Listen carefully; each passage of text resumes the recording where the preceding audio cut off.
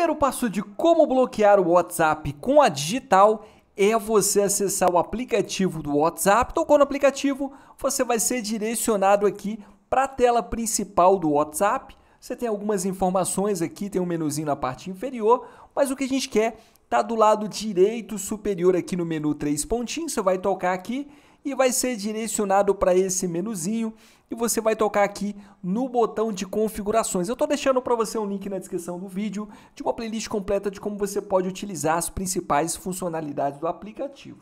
Tocou em configurações, você será direcionado para o painel de controle do aplicativo e você vai rolar aqui até a opção de privacidade, tá certo? Tocou em privacidade, você tem algumas opções. Olha só, quem pode ver meus dados pessoais? E você pode mexer no visto por último online, foto de perfil, recado, status, confirmação de leitura. E um pouco mais abaixo, olha só, duração padrão, grupos, localização em tempo real, chamadas, bloqueados e tem aqui, ó, bloqueio por impressão digital, além também de conversas trancadas, configurações avançadas, tá para proteger endereço de IP nas chamadas, tá? Então vai tocar aqui em bloqueio por impressão digital, você vai ser direcionado para essa tela aqui e você vai tocar no nome, olha só, desbloquear com impressão. Quando ativado, você precisará usar impressão digital para abrir o WhatsApp.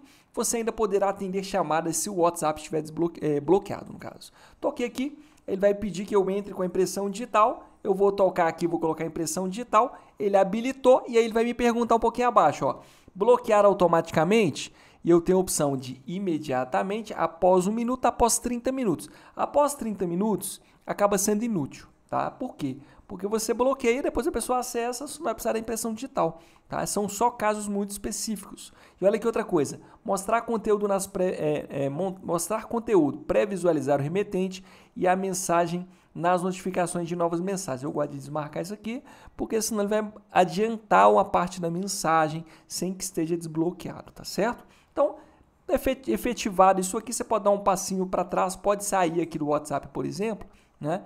Se você tocar novamente no WhatsApp, ele já pede impressão digital como você está vendo, tá certo? Então se esse vídeo te ajudou de alguma forma, se inscreve no canal. Eu sou o Thiago, te vejo no próximo vídeo.